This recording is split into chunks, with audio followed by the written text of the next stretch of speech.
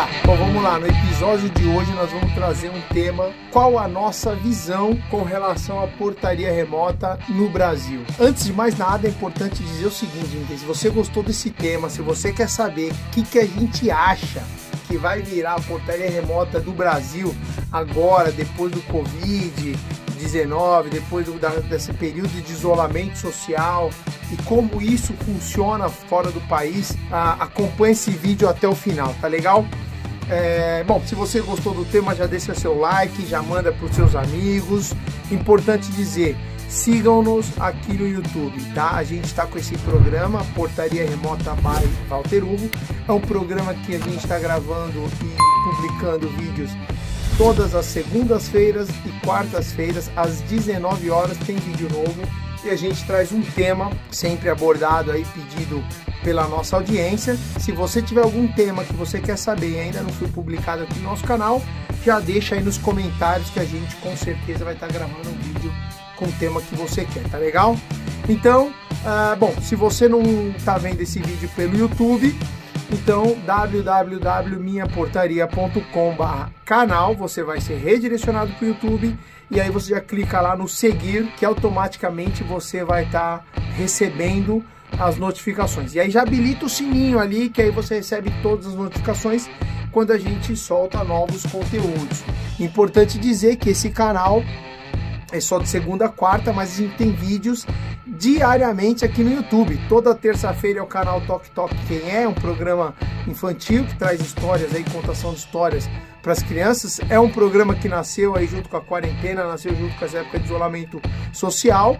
A ideia desse programa é trazer para as crianças um pouco mais de conteúdo e aí contação de histórias é lá no programa Toque Toque Quem É, terças-feiras. Uh, o outro programa nosso também é o Bate-Papo com Portaria Remota. A gente sempre traz um convidado para falar a respeito, uma pessoa aí de representatividade no mercado é, todas as quintas-feiras às 19 horas, é onde inclusive a gente faz live com outras pessoas e também tem o programa Minha Portaria ou Portaria Remota Inside, onde cada gerente de cada área aqui da minha portaria.com vem e fala um pouquinho sobre a tua área de forma a levar para o mercado conteúdo e informação estratégica a respeito. Tá legal? Eu vou deixar os programas aqui no card, tá? Então você vê aí, acompanha o nosso card, você vai acompanhar esses programas aí. Bom, então vamos pro vídeo, vamos falar o que, que a gente acha que vai acontecer nesse mercado aí. Até mais.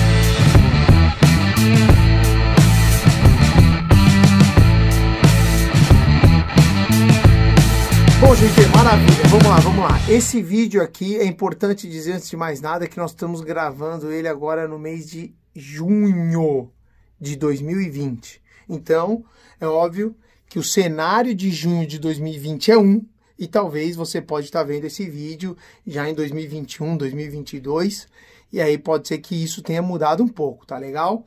Então, o que que hoje nós estamos vivendo aí o Covid, isolamento social, mantendo aí preservado em quarentena aqui no Brasil, com os picos sendo atingidos de caso aí de Covid-19, né, atingindo aí cada dia, infelizmente, cada dia mais é, mortos por conta dessa doença. O que, que a gente enxerga da portaria remota, né? Bom, primeiro é importante dizer o seguinte, né? O que, que é a portaria remota fora do país, fora do Brasil, né? Inclusive, muitas pessoas às vezes abordam a gente e falam assim: ah, lá no país lá onde meu irmão mora, lá nos Estados Unidos, lá no Canadá, lá na Europa, lá na China, lá no Japão, portaria remota já funciona há muito tempo. Tempo, pessoal, tempo. Peraí, não é bem por aí, né? Em Israel, portaria remota já funciona há muito tempo. Eu tive lá em 2018 e consigo falar para vocês como funciona isso lá. Na verdade, o que você vê nesses outros países é o que a gente chama de portaria autônoma, né? Ou seja, inclusive eu trouxe ela aqui, a portaria autônoma a gente tem essa modalidade, vamos estar tá falando um pouquinho sobre elas. Mas a portaria nesses, nesses outros países não tem a conotação e o propósito de segurança como nós temos aqui. Então, nesses outros países, o principal objetivo é de fato o controle de acesso. Então, as pessoas já estão acostumadas. Ou seja, chega lá no Israel, eu tive lá em 2018 Você vai no interfone, tem lá um interfone com, enfim, 10 apartamentos, 10 bolinhas, e do lado das bolinhas tem o nome de cada família. Imagina isso aqui no Brasil? Não é assim que funciona aqui. Na China, por exemplo, você também tem um interfone que você chama apartamento, e aí o morador atende e ele libera o acesso para você. Tem casos que nem tem, inclusive, interfone, você é, simplesmente entra, porque as pessoas no apartamento já estão te esperando. No Canadá, por exemplo, também trabalha com interfone, que tem vários números dos apartamentos. Você chama apartamento, de dentro do apartamento o morador libera. Esse é o modelo conhecido aqui no Brasil como portaria autônoma, ou seja, a gente implanta uma solução tecnológica, um parque de tecnológico de equipamentos de segurança eletrônica que permite você fazer isso. Mas por que, que essa modalidade aqui no Brasil não tem funcionado mais pulverizada, ou seja, não está mais disposto no mercado? Simplesmente pelo fato de que nós fomos acostumados e culturalmente nós temos porteiro. Quando você que está vendo esse vídeo nasceu, já tinha porteiro no Brasil, nos condomínios do Brasil. Para você ter uma ideia, o primeiro condomínio do Brasil, alguém sabe qual é o primeiro prédio do Brasil? O primeiro prédio do Brasil é o edifício Martinelli, aqui no centro da cidade de São Paulo. Esse edifício ainda tinha porteiro até dias atrás. Ele já nasceu com porteiro para fazer o atendimento das pessoas que chegavam no prédio. Então, nós no Brasil estamos acostumados a ter porteiro. Todos os condomínios no Brasil, de uma forma geral, culturalmente já prevêem a guarita, né? Para que a guarita? Para ter porteiro. Então, coisa que você já não vê aí fora. Tem muitos prédios fora do país que você não vê guarita, não tem guarita. Simplesmente tem acesso à intervenção. Então aqui tem guarita, porque arquitetonicamente os projetos já desde o começo nasceram com porteiro e naturalmente com guarita. E aí depois entrou aquela onda de guarita blindada e assim foi a portaria autônoma que funciona aí fora não é uma, uma, uma solução descartável, hein? longe disso. Muito pelo contrário, inclusive, tá? Como nós estamos falando de uma barreira cultural, hoje os condomínios, inclusive nesse mês que eu estou falando aqui em junho de 2020, é, no Brasil a gente contratou uma pesquisa, existem em média de 173 mil condomínios, verticais até 80 apartamentos, com porteiro presencial. Essa é uma pesquisa contratada pela minha portaria.com, junto com a Digit. Então, é, tem em torno de 173 mil. E números é que não existem mais do que 5 mil condomínios com portaria remota. Então, tem aí uma, uma expectativa de expansão e crescimento para esse segmento para os próximos anos muito grande. Quando a gente começou com portaria remota lá em 2014, você falava em portaria remota, as pessoas mal sabiam o que você estava falando. Não conseguiam entender como isso aconteceria de uma forma real. Hoje, pelo menos, as pessoas já sabem o que é portaria remota. Quando você fala portaria remota, a pessoa fala assim, ah, não é portaria virtual? Inclusive, vou deixar um card aqui que te ajuda a entender exatamente a diferença, a nomenclatura. Portaria virtual não existe, é portaria remota. Tá? As pessoas falam, ah, não é portaria virtual, não é portaria eletrônica, não é portaria à distância. É, são todas essas nomenclaturas. Então as pessoas já sabem do que nós estamos falando. A gente entende, a gente acredita que em 3, 4 anos, 2021, 2022, pelo menos todas as pessoas já tiveram uma experiência de portaria remota nas suas vidas. Ou seja, visitando um parente num prédio que tem, ou mesmo no seu próprio prédio com portaria remota. É um mercado que vem se adaptando culturalmente. Qual que é o entendimento geral, né? O futuro desse negócio aqui no Brasil?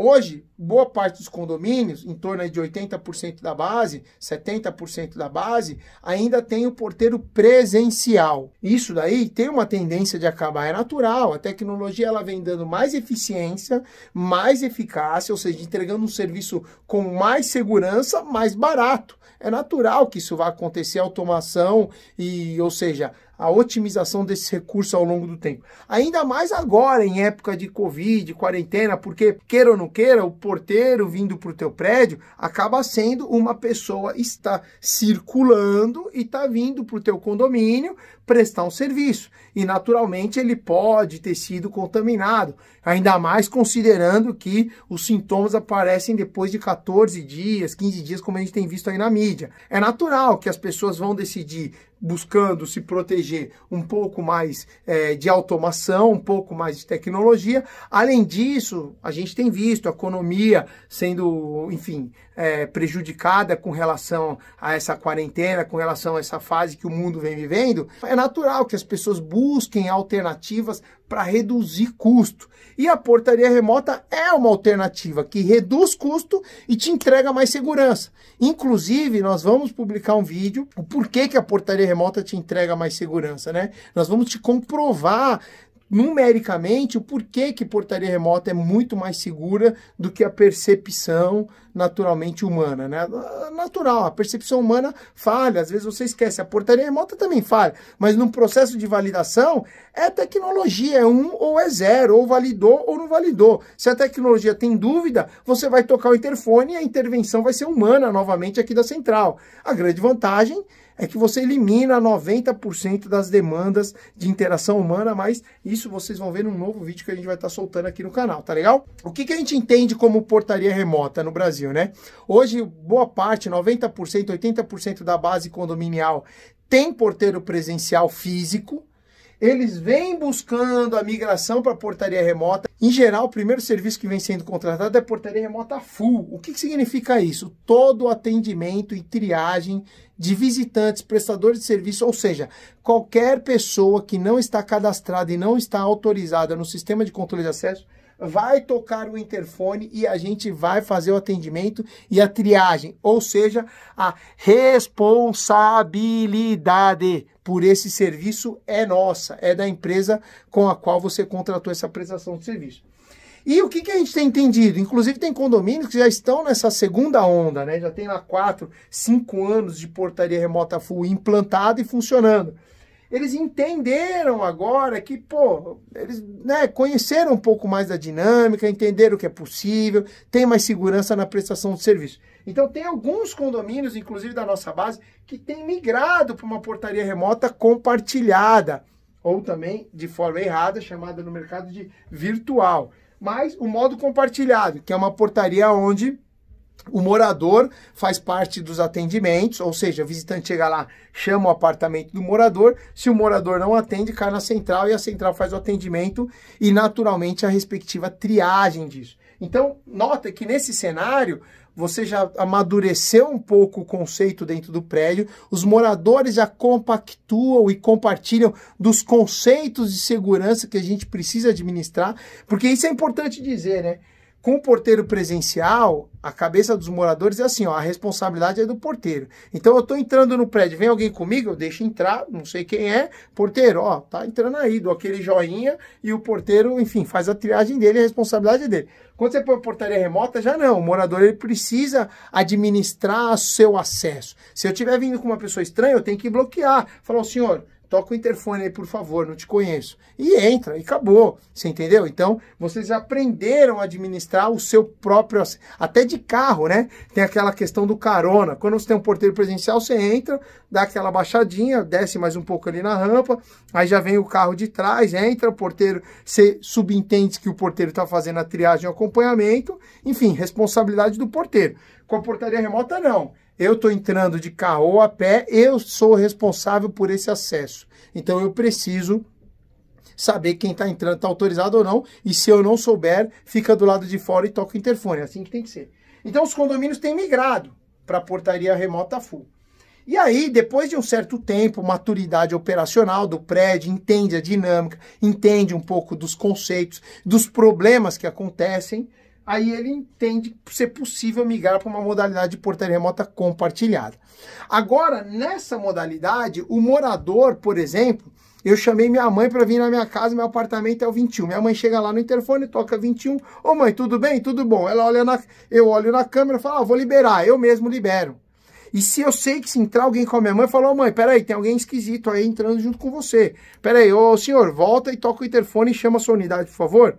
E aí eu começo a gerenciar, eu, morador, começo a gerenciar agora não só mais a minha entrada, como a entrada dos meus visitantes, em alguns casos até dos prestadores de serviço. Então você adquiriu mais uma habilidade, mais um nível de maturidade no controle de acesso ao prédio. Então, com a modalidade compartilhada, agora você gerencia alguns dos visitantes e prestadores de serviço. Então você responde por esse acesso. Importante dizer que a plataforma e o sistema entregue pela minha portaria.com, ela sempre vai te trazer as gravações de áudio, vídeo e registro que permitem aí uma auditoria, um acompanhamento futuro a respeito desse acesso, tá? E aí, óbvio, né? Depois que o morador aprendeu a gerenciar, ter um pouco mais de interação com o controle de visitas para o seu apartamento, de prestador de serviço, e aqui o que é importante dizer? Tocou o interfone, cinco toques, não atendeu, cai para a central. Então o teu visitante não vai ficar pendente lá fora sem saber o que está acontecendo. E, do mesmo jeito, um atendimento para um zelador. Ele toca lá o botão portaria, cai para a gente, a gente atende, interage com o zelador para uma manutenção aí do prédio. Quando você vai para a portaria autônoma, acabou essa figura de atendimento sendo feito pela central. A central ela não vai mais atender visitante nem prestador de serviço, tão pouco para os moradores quanto para o prédio. Agora o visitante vai chegar lá na autônoma, vai clicar no botão portaria, vai cair no celular do zelador. E o zelador vai fazer o atendimento e se ele estiver esperando o visitante, ele vai liberar. Do mesmo jeito o apartamento, ele vai chegar aqui na autônoma. Do mesmo jeito o apartamento, ele vai chegar, chamar teu apartamento, tocou no apartamento, não atendeu, a ligação vai ser transferida para o seu celular e você vai atender no celular. Ponto. Então você não tem mais a interferência da central. Óbvio que a central ainda garante, inclusive eu vou deixar um vídeo aqui, tipos de portaria remota. E a central garante toda a prestação de serviço de controle de botão de emergência, controle de botão de pânico, controle de porta aberta, manutenção com reposição de material, links de internet, tudo isso funciona através do nosso aplicativo. Então é natural. Essas outras características, todo esse suporte. Se você pelo seu aplicativo quiser chamar central, você chama. Se você pelo interfone quiser pegar o interfone e chamar 94, você vai cair na central, a gente vai te atender. Então, só que todo atendimento de visitantes, prestadores de serviço, delivery, vocês mesmos vão atender. E é assim que funciona fora do Brasil. Em outros países, a modalidade aplicada é a modalidade autônoma. A gente entende que no Brasil não vai demorar, vai acontecer, como a gente, por conta da pandemia. Muitos condomínios com porteiro presencial estão colocando a full, muitos condomínios da nossa própria base com modalidade full está migrando para compartilhada. Até hoje ainda não tivemos nenhum que migrou para autônomo, mas a gente entende que é uma questão de um, dois anos, conforme as pessoas vão adquirindo maturidade nos processos operacionais, elas vão migrando e tornando o processo mais autônomo. Com isso, obviamente, o condomínio fica mais barato. Por quê? Porque a gente desenvolve menos trabalho aqui da central. A gente não faz o atendimento. Se a gente não faz o atendimento na modalidade autônoma, é natural que tem que ficar mais barato. Então você tem um serviço mais barato, garantindo ali apenas os custeios dos, dos itens básicos para uma prestação de serviço, que é manutenção com reposição de material, link de internet, toda a parte de suporte e registro e armazenamento de informação que é gerado, tanto imagem, áudio controle de acesso, toda a parte de controle de botão de pânico, se tiver algum problema você vai chamar, a gente vai interagir, porta aberta a gente vai interagir, ou seja, tudo aquilo que prevê como características de segurança e suporte, a gente vai continuar atendendo perfeitamente. Então, qual é o futuro da portaria remota? É esse. A gente entende que o modelo full compartilhado é um modelo transitório entre o, entre o tudo, que é o porteiro presencial, para o absolutamente nada, ou seja, um aplicativo, que é o modelo autônomo. Tá legal? Essa outra linha aqui de itens verdes é que traz, traz as modalidades de portarias híbridas, ou também conhecidas como portaria mista, que você é, tem parte do trabalho e do horário sendo desenvolvido por homens, por pessoas, e parte, ou seja, presencialmente, e parte do trabalho sendo desenvolvida pela central. Então você tem a modalidade híbrida mista 12 horas diurno, onde você tem o porteiro diurno e a central atuando de noite. Você tem o um modelo híbrido misto 12 horas noturno, onde você tem um porteiro noturno e a central atuando de dia, e o modelo mista 44 horas presencial, que prevê é, no horário comercial a operação com uma pessoa, com um porteiro físico no local, tá legal?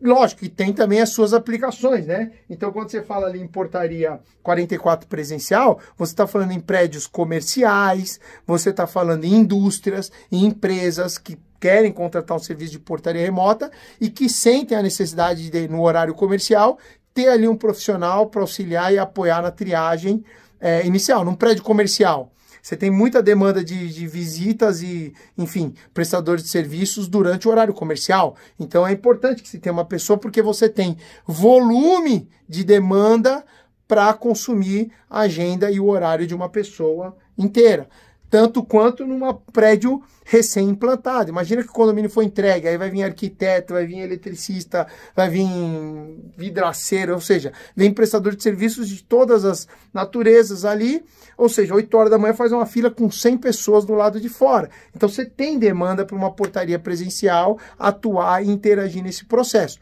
Fora do horário comercial, a operação fica a cargo da portaria remota.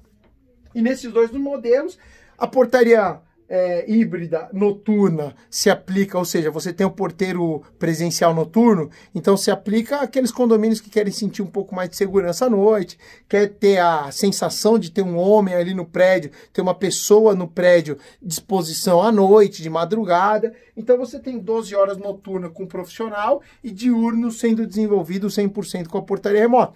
Temos também um ou outro condomínio nesse perfil. E temos também a outra modalidade que é híbrida diurna. O que significa isso? Então, aquele condomínio que acha que de dia tem muita demanda de entrega, ou seja, condomínio clube, condomínio muito grande, que durante o dia tem muita demanda. Então, ele mantém um porteiro de dia e de noite a operação é desenvolvida pela portaria remota. 12 horas, ou seja, de segunda a segunda.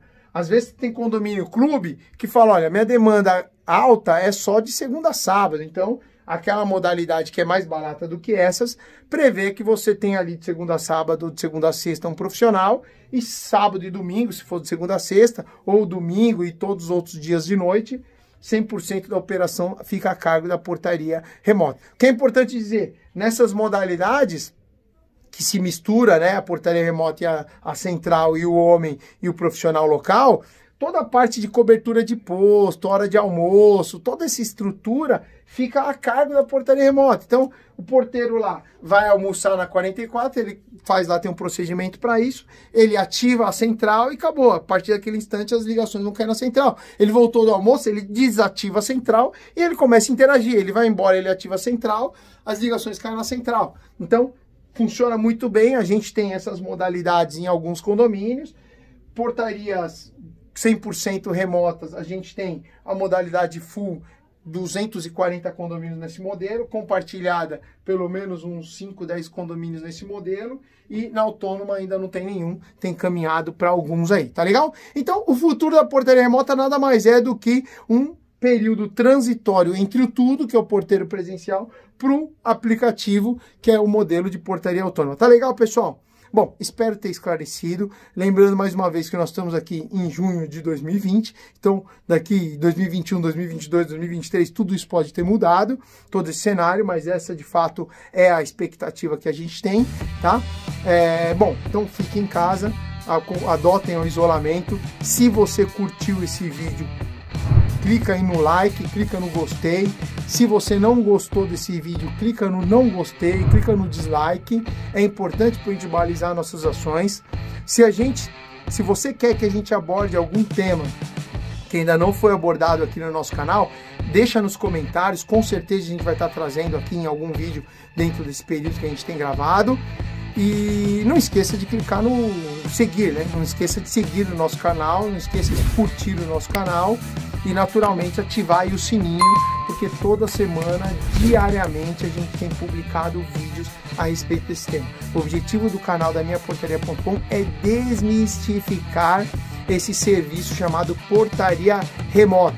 Então nós vamos falar de absolutamente tudo a respeito de portaria remota. Se tiver algum tema, quiser sugerir alguma coisa, pode mandar aqui no comentário que a gente vai estar gravando o vídeo. Tá legal? Então, pessoal, obrigado até o próximo vídeo. Vamos que vamos. Boa sorte.